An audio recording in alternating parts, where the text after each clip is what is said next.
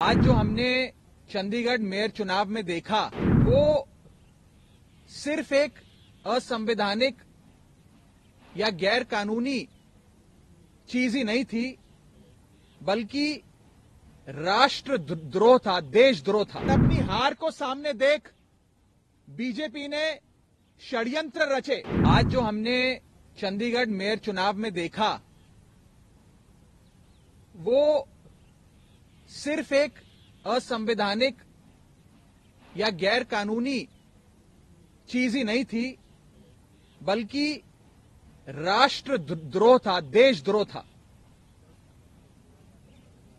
आज जो हमने फर्जीवाड़ा, जो गैर कानूनी काम, जो इलीगैलिटी चंडीगढ़ मेयर चुनाव में देखी है, उसे सिर्फ़ और सिर्फ़ राष्ट्रद्रोह राष्ट्रद्रोह कहा जा सकता है। आप सभी ये बात जानते हैं कि मेयर के चुनाव में 20 वोट इंडिया गठबंधन के पास थे और मात्र 16 वोट भारतीय जनता पार्टी के पास थे।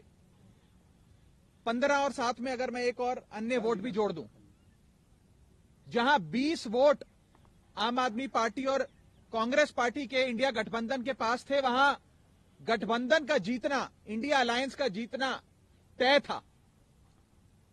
और अपनी हार को सामने देख बीजेपी